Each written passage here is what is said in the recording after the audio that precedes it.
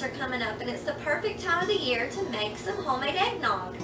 To make this homemade eggnog you will need 2 egg yolks, one third a cup of granulated sugar, 1 and one fourth cups of milk, 3 4th a cup of heavy cream, a half a teaspoon of ground nutmeg, one eighth a teaspoon of cinnamon, a half a teaspoon of vanilla extract, Bourbon or rum is optional, and feel free to double or even triple these ingredients. Today I only made enough for my little family of three. Add the cream, milk, cinnamon, and nutmeg to a pot and bring to a gentle simmer. Stir this occasionally and keep an eye on it while you add in the sugar and egg yolks to a large bowl and beat with a hand mixer until the mixture doubles in size and is a pale yellow.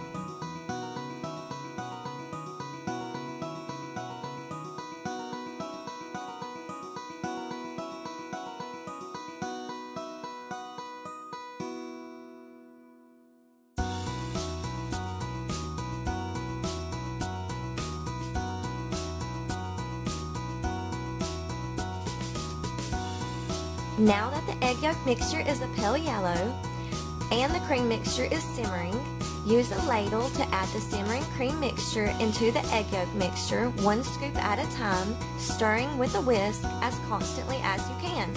This is so we do not make scrambled eggs.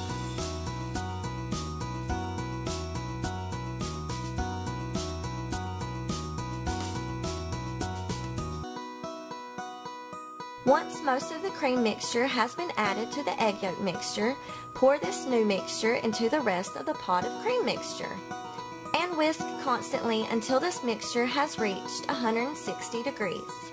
I like to use my candy thermometer to know when it is 160 degrees.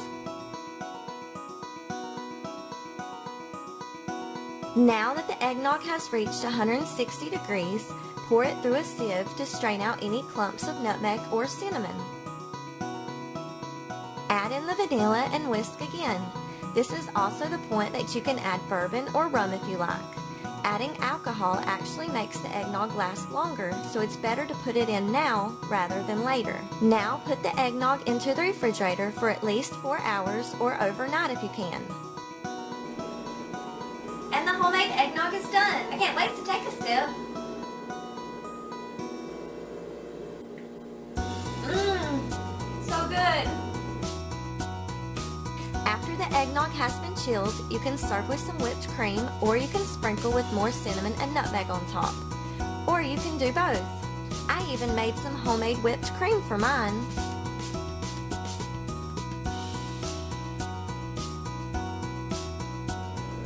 Hope y'all like this recipe as much as I do. Let me know in the comments below if you make some of your own.